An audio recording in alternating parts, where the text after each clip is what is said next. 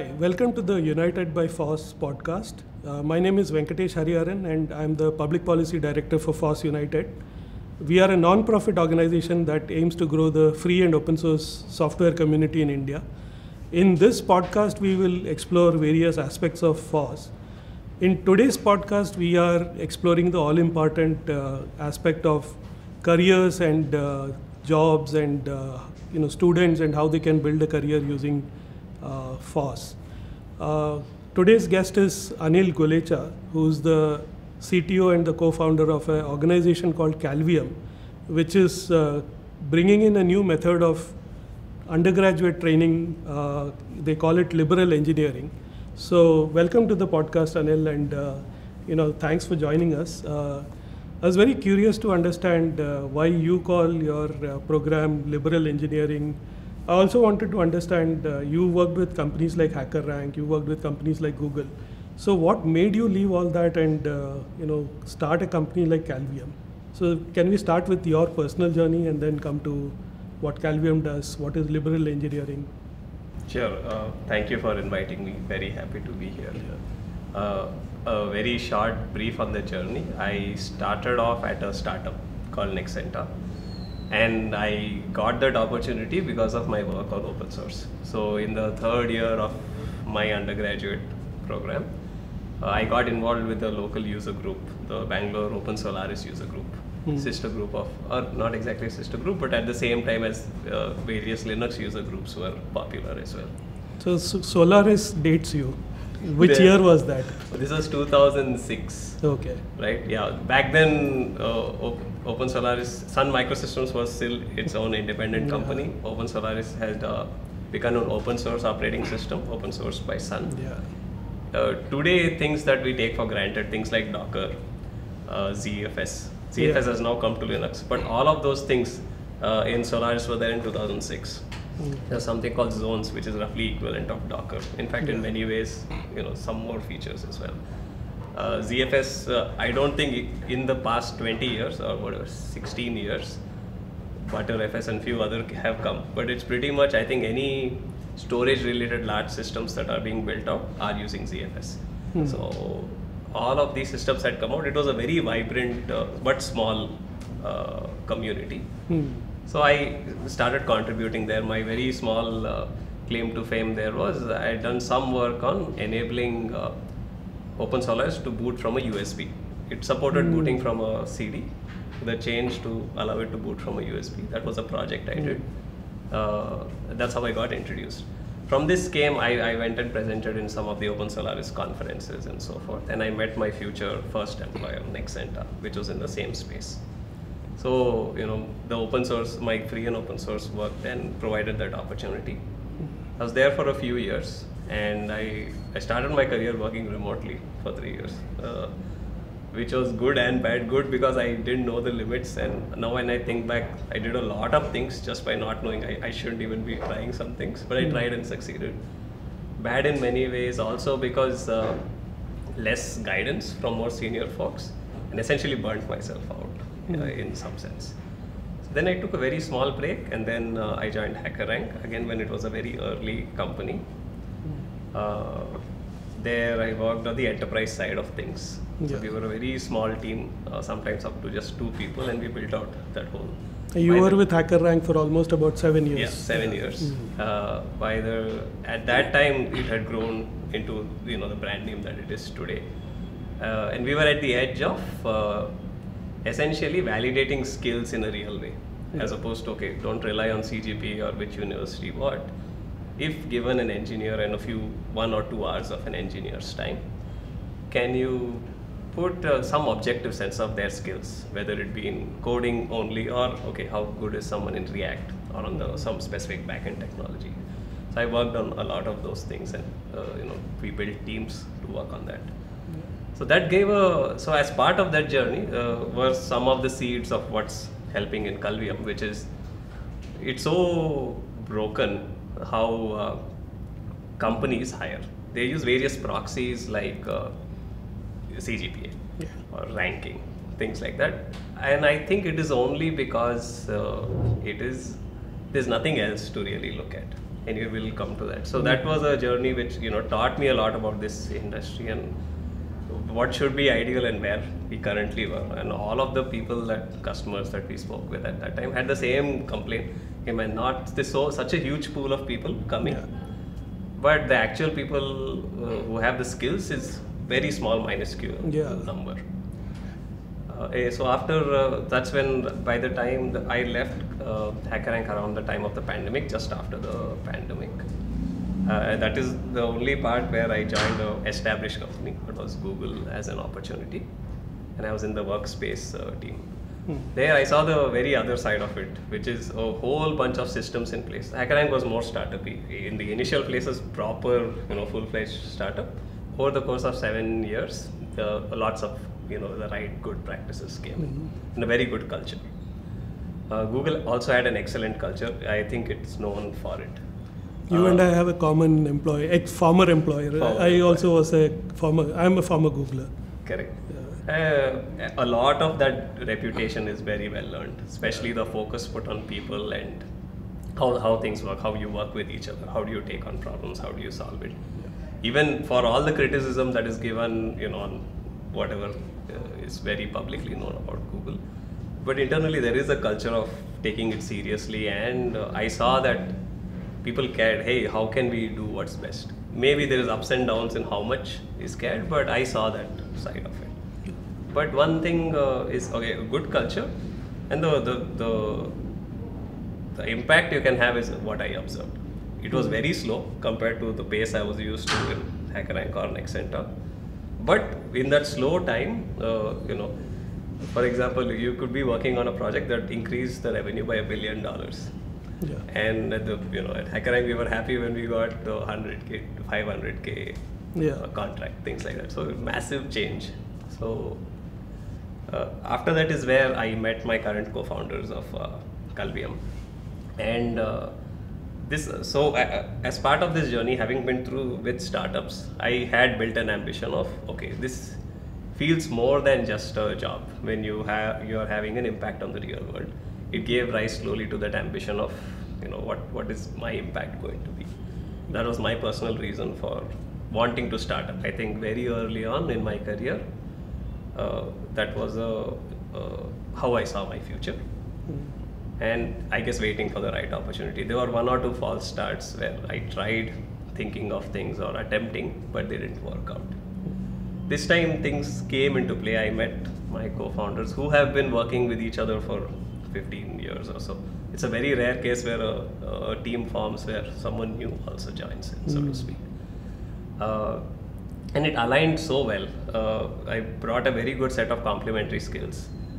Uh, it felt right in that you know idealism also was meeting pragmatism, which is it's yes it's a startup, it's a chance to go have a big impact in a meaningful place. Yeah. And then meaningful where is the idealism also comes in. So, what was the problem statement that you are looking to attack? Yeah, so the problem statement was how the education system is, uh, as it's implemented, significantly broken. Numbers were like uh, roughly right now 8 lakh computer science uh, engineers or Graduating graduating high school students, secondary high school students are joining computer science related courses. Yeah. Every year, roughly 25,000 uh, people join as software developers into various companies. If you look at that ratio, it is terrible, right? 25,000 out of roughly 7 8 lakh people, uh, which is, uh, and for all the talk of uh, you know education being a wider thing beyond just say a placement or working in the real world from a, if you talk to 100 students hey what is it that you're doing your higher education a typical bachelor's degree for? Hey i want a good i want to settle well in life right? I want that good outcome which is typically you join a company work there. And when you choose computer science specifically you are seeking to become a software engineer or Yeah. a role like that but uh, that is not what is being provided for 25000 out of 8 lakh Yeah.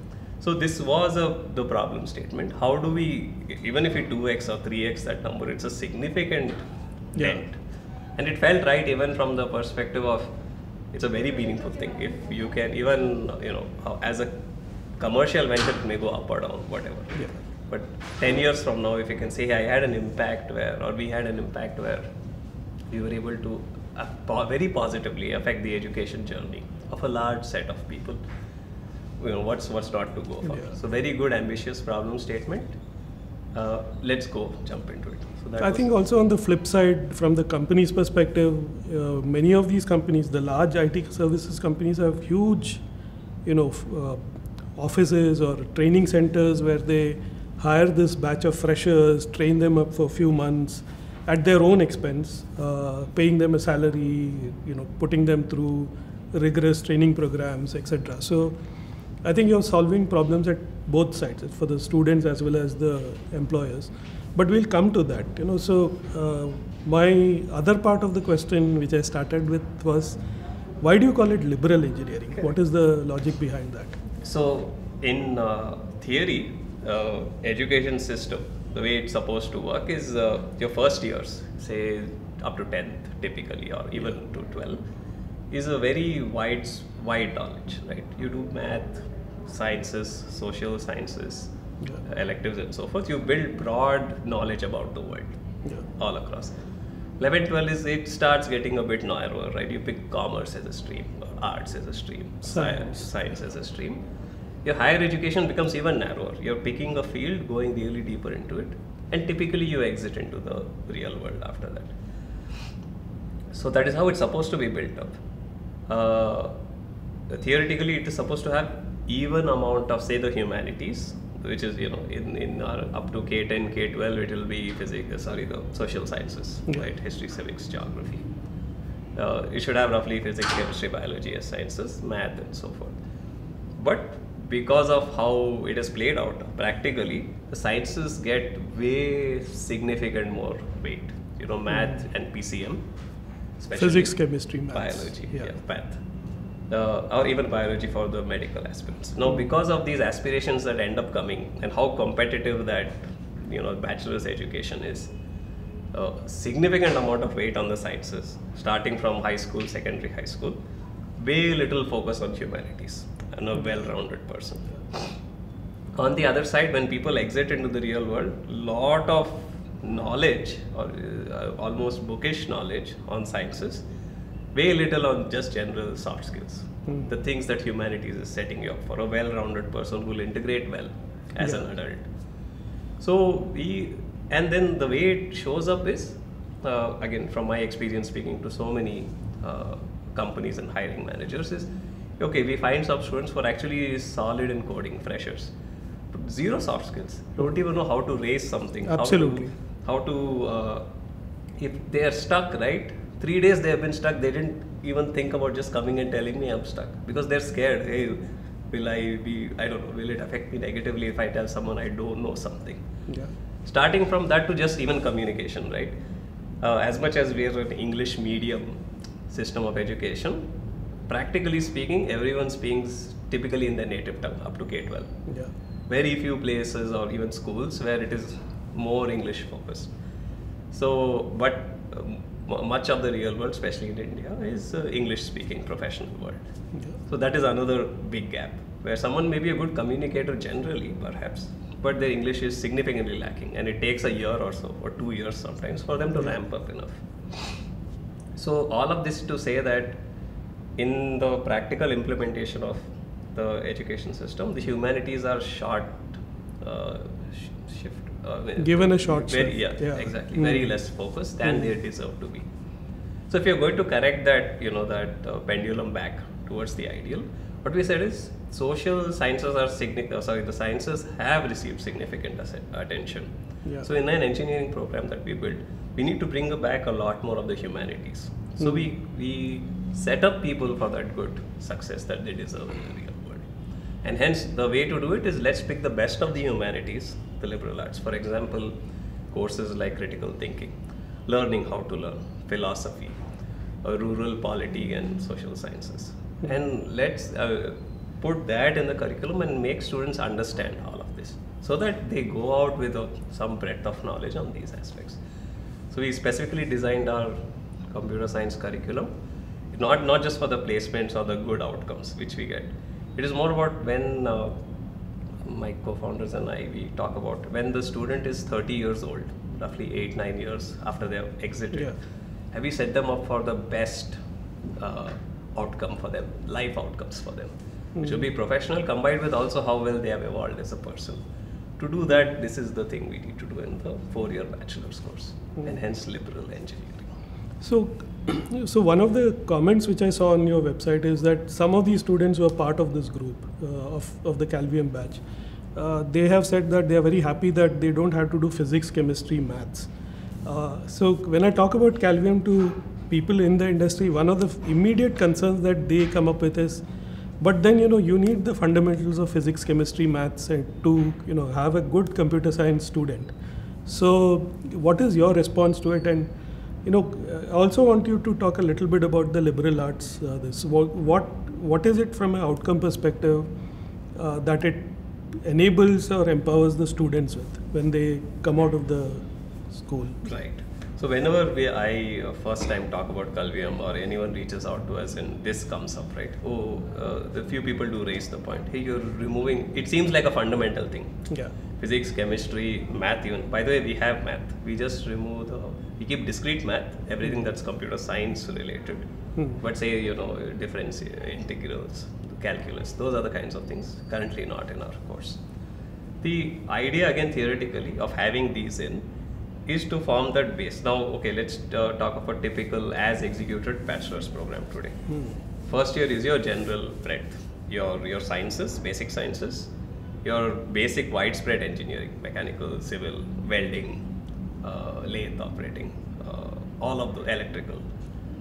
And then year two, three, four, it becomes narrower, where okay, it's more core subjects, whatever. If you pick mechanical, all the subjects related to that. If it's computer science, all of the subjects related to that. But the trouble with that is if you actually look at the curriculum, I think there's 75 to 80 percent intersection with what they have learned in second higher, uh, say 11 and 12. So it's not serving a purpose of extending knowledge there.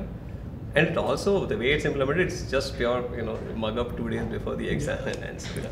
You're not actually getting an outcome out of it. Domain knowledge is important, widespread real world knowledge is important. In our program, uh, we designed the program to naturally get that starting year two. So, one hmm. core piece of our program is work integration, where the goal is starting third semester onwards, give every student the opportunity to integrate in the real world. Hmm. Our position is that domain knowledge will come wherever the student lands. For example, one of the biggest forms students take in real world integration is internships. Hmm. We bring companies to come and take our student as interns. We've designed the program broadly so that before lunch you're doing your academics. After lunch you are you know working in the real world. This is from second, third to fifth semester. Starting sixth semester, there's option to even switch over into go on site and do your academics from there. Okay. But the idea is integrate into the real world because the true learning that happens. Now, for example, I did my I'm doing my OOPS course as part of the regular day to day before lunch. Where where I'm working, I'm actually working on the code base. Suddenly, those uh, principles light up in my mind. Yeah. I'm just applying it in a very similar way. Now, let's say a student of ours is placed in a, a fintech uh, in PhonePe, which is our uh, fintech company automatically just being there and understanding whatever the project that they are working on the student has to understand finance as a domain they have to understand how, how the what is a mutual fund what is this price difference? What's a candle view when it's shown in a Yeah. and they cannot do it. No one is going to help them. They have to understand the domain and truly learn from it. And they're going to be doing this for six semesters third to eighth you know most students who start from the third semester. So the amount of true real world domain knowledge will be first of all there for three years.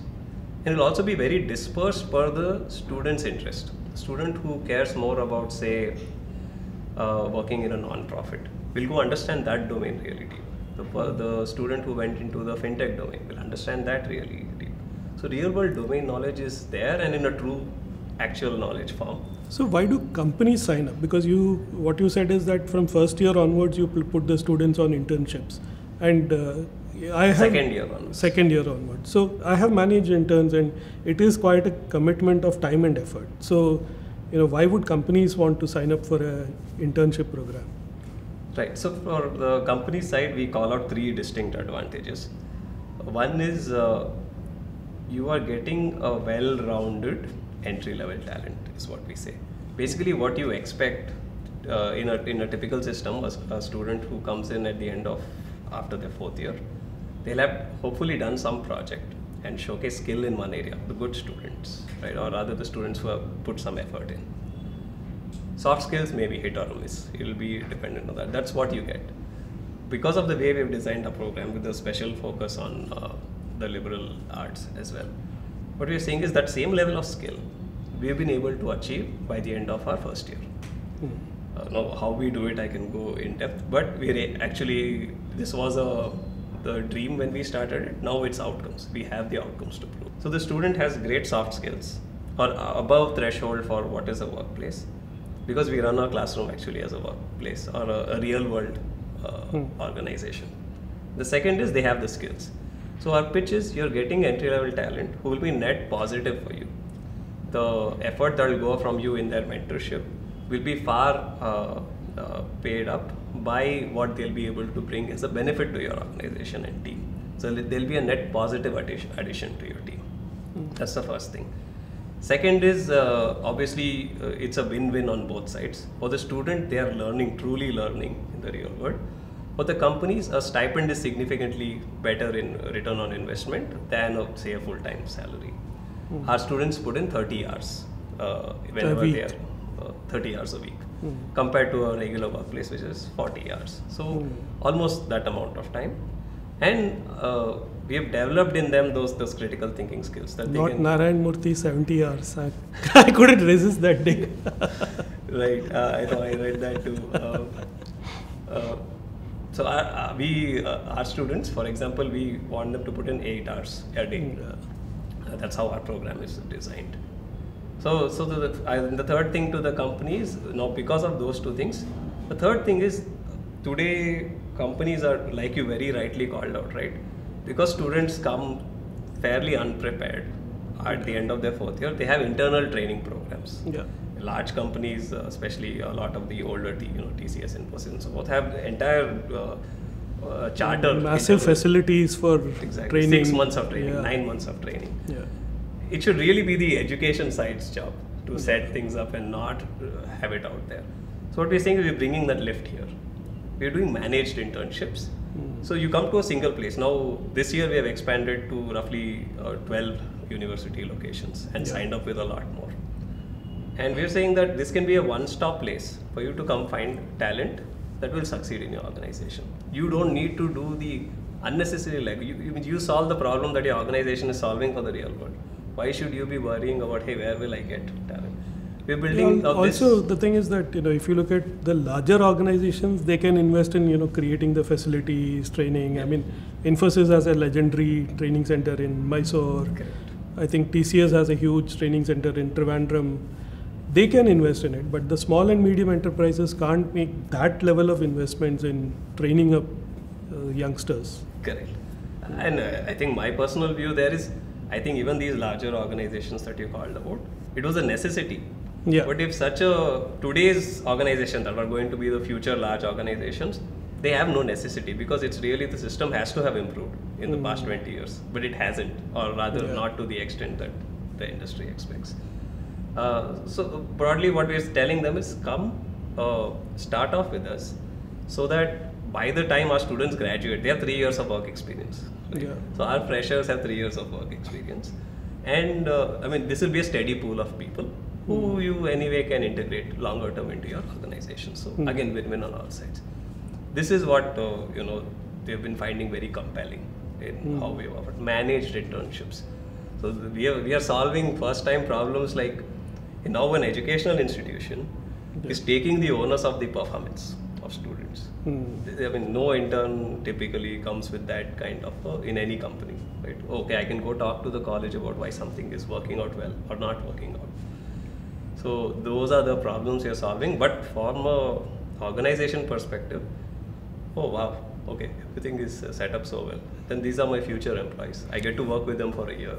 So uh, who are the organizations that you work with? And you also, what I also found very interesting is that you work with these academic institutions and they seem to have given you carte blanche to you know just take over their computer science program and that's fairly astonishing uh, kind of a system to follow so why is it that these institutions trust you to you know completely take over the computer science program and so Yeah. both on the academic side on the educational institution side and the uh, corporate side what are the organizations that you work with. So let me take the uh, the academic side first. Uh, there, I guess that that overnight success of uh, you know them trusting us has come from past few, you know 15 years of investment that my co-founders uh, in their previous their uh, third time uh, entrepreneurs. Previous uh, venture was a venture called the Face Prep, which was uh, into placement training. And the claim to fame of that was for the uh, so-called mass employers who take in a lot of students from the academia into the industry. They built an entire playbook and a system and a process to take a like a two-week intervention, roughly before the placement season, and skill up students significantly. And the outcomes of that have been visible to the to our university partners. In that case, though, you know, more than a thousand institutes. They have seen that okay, these folks know how to get the outcome for us yeah that that trust built is where we are now uh, able to go and say that, hey. You're capitalizing on that. Correct. Mm, okay. uh, so i mean it, a lot of hard work and then is where this conversion comes in. And now we are, we've been able to prove that here too. In our pilot year we achieved 84% integration into real world from third semester. So we've actually and we didn't ask anything special on the company side. Now one thing when we started Kalvium when we went and pitched to all of these uh, companies uh, this includes pretty much who's who of the Indian tech ecosystem. Even larger, uh, we have you know, some investors from Google, Microsoft, and so forth. But the, the moment we pitch it for half an hour, it's like this makes absolute sense. Obviously, we want this. So partly we just go back to them and say, hey, our students are now ready. Open up internships, try them out. And it, it's surprising. I look at the weekly submissions our, our, our students have to make a report about what they've done in the week so that academically we can grade them on the courses.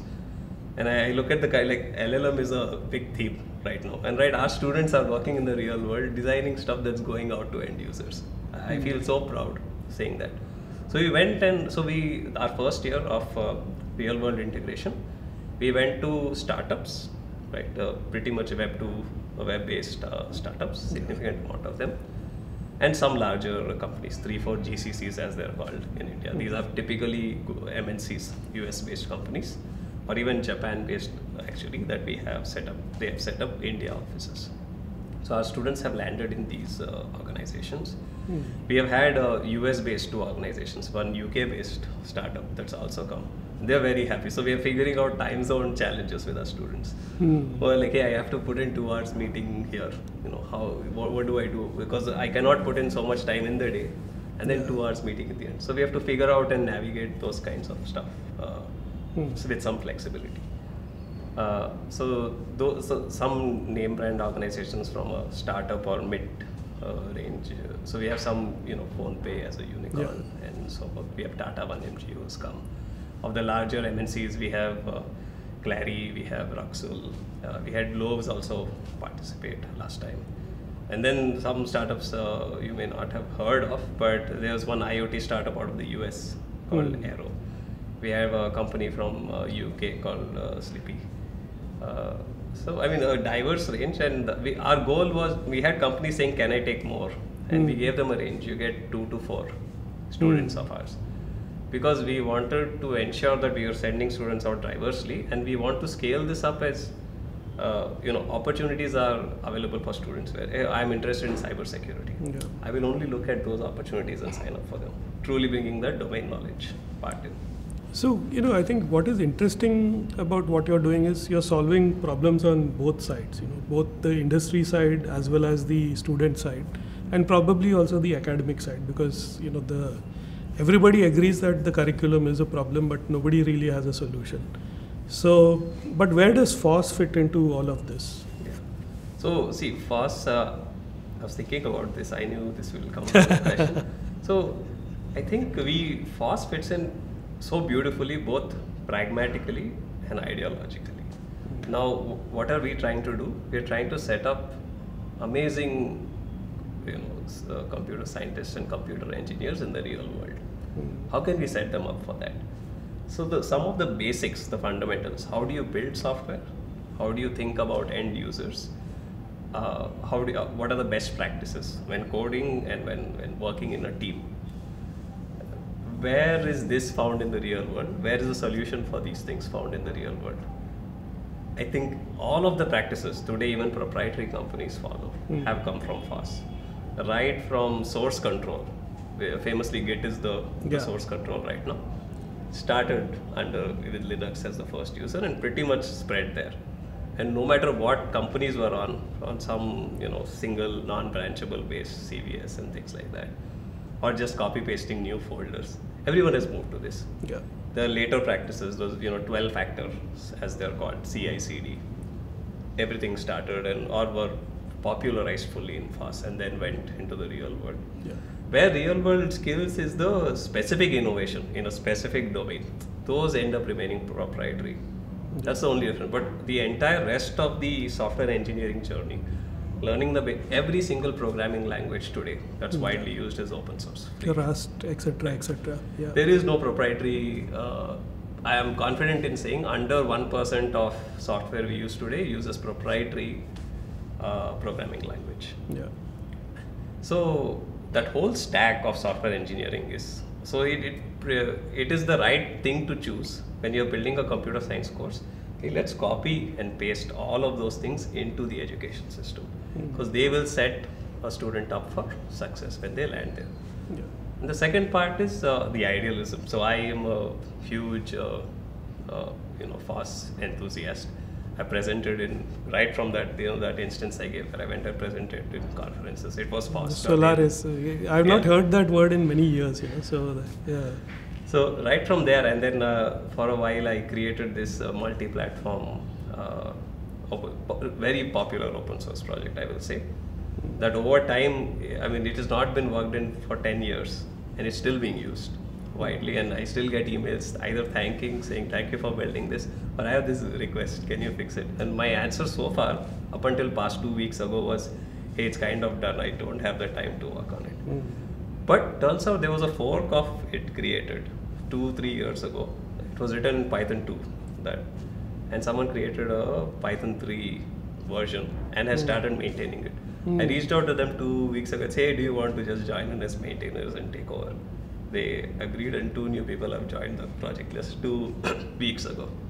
So I am proud to say Trelby is now an actively maintained project again. Mm. So that I know those things got me the role at HackerX. They were a, a key part of my resume and interview. Yeah. So it's provided uh, ideological and pragmatic path of. I never had anyone ask me what my marks were or what degree I had. There was one maybe one line item in Accent of my first job. Yeah. So, so with that kind of a my personal backing of Mm. how I see FOSS fitting in, or the processes of how to learn. FOSS is the best way of learning software engineering for the real world. You So know, it- I, I- I want to jump in there because I think it's also becoming a way of hiring now. You know, for example, I mean, typical process for a company to hire has been to look at you know what are the top tier campuses and then kind of go down the ladder and say, okay, you know, these are the institutes or the universities that I will hire from. But uh, off late, an interesting trend that I've been seeing is that, uh, for example, one of my friends volunteers with the Pimpri Chinchwad College of Engineering, and uh, two of his students were hired by one of the ride-hailing platforms for a salary of 60 lakhs per annum each. And that was because they had contributed to some of the Apache projects that the ride-hailing platforms were working on. So they got, you know, somebody who's like immediately employable, uh, somebody who can hit the ground running from day one.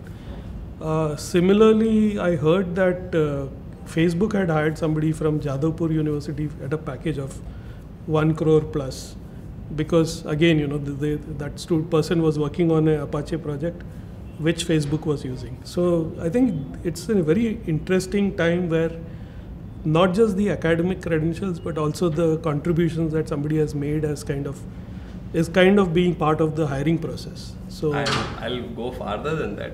The academics are only used when this is not available. In Hmm. fact, you know, all the things you said is how we have systematically done it in Kalvium.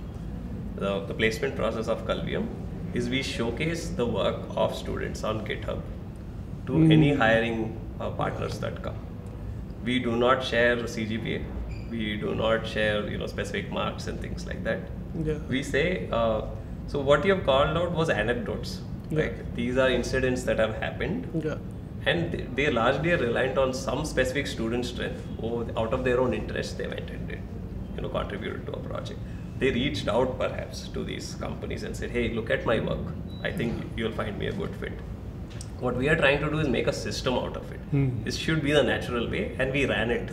All of our placement processes have been that way. So we create a profile of the student. We call it to hiring partner uh, companies. We call it uh, longitudinal data. Mhm.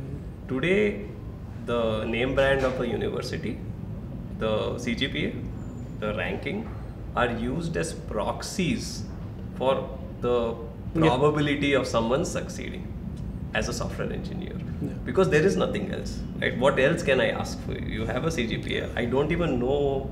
So the first thing most hiring managers do in when looking at say 10 resumes is, hey, is there a GitHub profile link?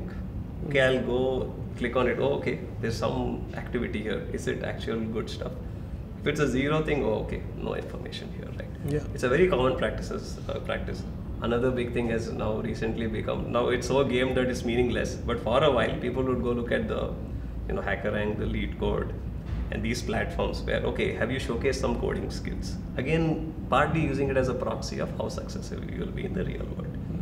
Our position is we want to have all of that itself directly available Mhm. when you can see a whole project. So last year, the average number of commits our students had. So every student of Kalvium in second semester works on an open source, one or more open source projects, Mhm. uh, and they have to do it using the standard industry practices, like using Git. We use GitHub. We have a community. Every project has to be fully open. It It has to go through the uh, code review cycle. You create a pull request, get it approved, get it merged. Every student does this. Mhm. So on average, I think our median number of commits in a project was around 20. Our highest was 114. Like a student over course of three months worked on a project with that many iterations. Now, when our company partners come, I just say, hey, here's the link to the project this student worked on. They go into the pull request. They look at the way the code is. Obviously, the expectations are, you know, you know, how well it is written and so forth. You have to temper it to the fact that these are students in the first year of their engineering, but they are head and shoulders above uh, the traditional process, which have any such profile will be created by one int- interested student out of a pool of 40 or 60 who does the effort. So we're trying to make it a systematic thing. How can the education process itself impart all of this knowledge to you? So that I do not, no company asks us for the grades. Mhm. Hey, look at the pull request. Look at the actual code the student has written. That you don't need a proxy for how good of an engineer they're going to be. You can actually see it. Hmm.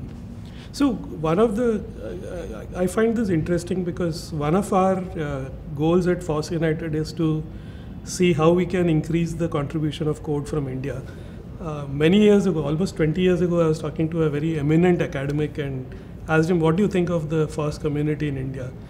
I heard like one sentence which was like, you know, I mean, it just, it still hits me when I think of it because he said, "We are a nation of downloaders."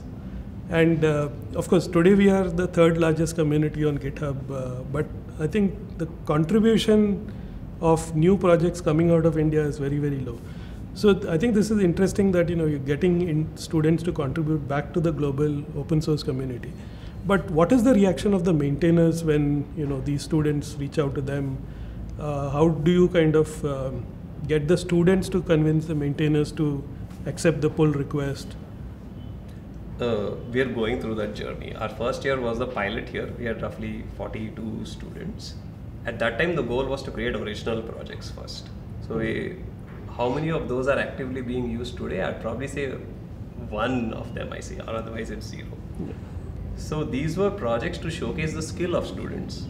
But we did not yet, I will say, in our first year, crack the problem of contributing back to existing projects. This year, one of the goals we have taken up is that now uh, we have to fit in two realities. One is we need a skill showcase of students, Yeah. true skill showcase, so that you know grades actually isn't something anyone we want us to ask for. Apart from skill showcase, how do you build those uh, larger software development skills, which is collaborating with people? Mm. Uh, some of the steps we've taken there. We worked with uh, organizations uh, like uh, some so in the social sector. You know, Tech for Good was, I believe, the name of one of the organizations, and they these are organizations that utilize open source Hmm. to solve problems of say a non-profit organization. So one step we did was working with them and uh, called them in as hiring partners and said, hey, take our students as interns. They are reasonably proficient in the open source process and some of these projects.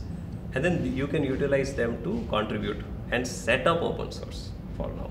And as part of that, if there's some deficiency, they can go contribute for that deficiency. Mhm. That was one step.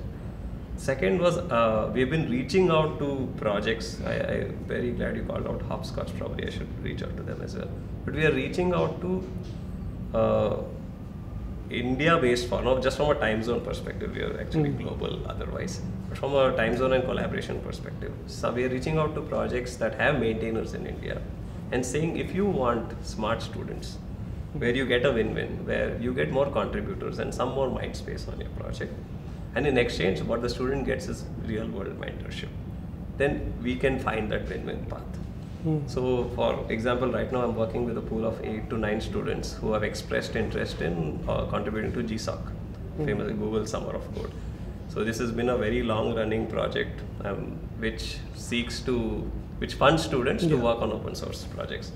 So now these students said, uh, okay, come Feb- February is when this the applicants for that start. What can we start doing now to prepare for that? Again, these are like you know first semester students Mm. in engineering. And I, I, I again wouldn't say it's solved, but what we're trying to figure out is hey, what are those steps we learn by doing it? So I'm we're figuring out some ways of integrating, but so far no one killer success yet. This year is the time to find those few killer successes. So, uh, how many cycles have you gone through, and what has been the result so far in terms of placement, etc.? Yeah. So we are in the second year of our operations. Mm.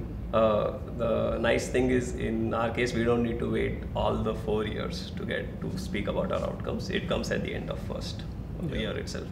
So we have had one uh, our pilot batch of students where we uh, integrated with one university partner and one direct our program run by us itself. Overall, the the pilot pool of students was 42 and uh, as part of uh, the placement process so far, we've had 37 sign up and accept offers in organizations and join. So, even though these students have not graduated, they have offers. Correct. These, so, I mean, when I say offer, these are uh, uh, internship offers for 12 months typically. Okay, okay. So we do our typical. We, we sometimes deviate, but our typical contract for students that we work out with our industry partners is 12 months, which they love. Because a typical otherwise internship Yeah. is two months, Yeah. which barely a student has ramped up and they have to go. And uh, other things like I have an exam to write and this and Yeah. those kind of stuff. You kind of you know remove all of those and say, hey, a student of ours will work with you for 12 months. Hmm. That's a long time to get to know them. And if you both like each other, you can renew for 12 more and 12 more. Mm. Then they perhaps join you. That's the happy and, path. and the organizations hiring them as interns also offer a stipend, etc. Correct. Yeah. These are. what do the stipends range from? Yeah, we only accept uh, paid internships. We don't we don't do others. Just from a perspective of we want to make sure these are folks who are coming in seriously, right? Mm. And uh, so we have a minimum uh, uh, stipend for students at fifteen thousand rupees a month. Mm. Our highest offer last time, I believe, was forty-five thousand a month. These are Mm. second semester students, and uh, yeah, they continue and it continues to ramp up. Okay. Our median was uh, our average and median both were around 27, 28,000. Mm. Uh, I, I think uh, in some sense one thing we realized was uh, that was getting too optimized for by our students. In that, hey, which I should be applying for because the companies were on a range. Hey, maybe I will go for that. But our, our key our key uh, reason for this is the education. We are, we are not here to So you want the students to optimize for, For learning, learning. not for the top Exactly. highest pay package. Hmm. Exactly. Okay. So because uh, one learning is in the long term, right? That whatever plus minus you make in the early years are meaningless Mm. compared to if you are on a good path Yeah. in terms of your learning, right? You will naturally land Yeah. those good financial outcomes for yourself. But financial outcome is one thing. There's also you know, just life satisfaction, working on really good problems that you enjoy. Those are also things you optimize for. So we counsel students on that. Hmm. And we are also on this side trying to see if we can standardize it and not, you know, have to worry about the deviation too much. So these are the learnings that have come from this. So I think for students who are listening to this podcast, there are you know two big takeaways. One is that in the early stages of your career, optimize for learning, and the other is that you know be part of the open source community. That because there's a famous saying in the FOSS community that code talks, bullshit walks. Uh, so I think this is you know truly something that's a very interesting project that you've been up to. Where do you see Kalvium go from here over the next few years? What is what is the ambition of you and your co-founders? So this year, uh, after our pilot year, this year we have expanded to, we signed up with 20 universities. We have gone live with around 12 at the moment. Uh, one thing we are seeing is uh, just after that success of the pilot and just, you know, suddenly there's a lot of interest from all corners. You know, the universities, the students and the companies. Uh, because some of the things like, there's this developed this whole uh, tier system, this tier one colleges, tier two Yeah. colleges and things like that. Yeah. right? We've designed a system where there's no tiers. Like no, now it's more location preferences. What our second year was. We want to have enough places around the country, Mm. so student can join any place. Typically, you know, parents and students want to stay somewhere close to where they are. Is one thing we have seen. So our, this year's goal was okay. Can we go wider and have options all across the country? In fact, some negotiations and sign-ups with you know Middle East and things like that. The coming year, the goal will be to go deeper in each of these places. Our, I think our, uh, our collective long-term vision is to get these outcomes to a significant higher number. Like I said, right, the 25,000 Yeah. out of the 8 lakh, if it can become 50 or 75, we just 2x or 3x that. That is a massive lift. So that's the goal. Can we go achieve this kind of a systematic change for computer science aspirants Hmm. and get them the real world outcomes that they deserve? Yeah, I mean, you know, just to summarize, I think we find Kalvium to be a very interesting company because you're solving problems for three different aspects of society. You know, the both the companies, or actually not both, but uh, the companies, the students, as well as the academic institutions, uh, while also contributing to the FOSS community. I think it's a very, very interesting experiment, and uh, we wish Kalvium all success and uh, you know wish you all the best. Thank you so much for joining us. Thank you so much. It's amazing.